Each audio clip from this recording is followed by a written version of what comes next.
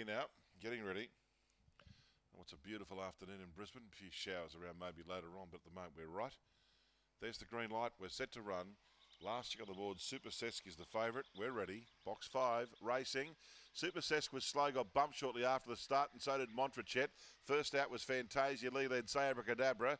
Montrachet got the third on the outside, and a couple of lengths away was Super Sesk. Then Sci-Fi Legend, the other debutant. Bogan Warrior, and Ankle Tap at the rear of the field. A few of those bit wayward towards the bend, and Say Abracadabra burned away. Put two or three lengths on them. Fantasia Lee, Montrachet late, but it's all Say Abracadabra beat Montrachet. It's almost a dead heat for the minors. Fantasia Lee and Super Sesk get the line locked together. Behind those then was Bogan Warrior, followed in by Sci-Fi Legend, ankle tap back towards the rear, and three is the winner. Say